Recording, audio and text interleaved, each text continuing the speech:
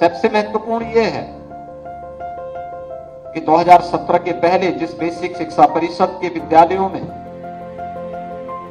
बच्चे आने से डरते थे, लोगों में उत्साह नहीं था, गिरावट लगातार बढ़ती जा रही थी,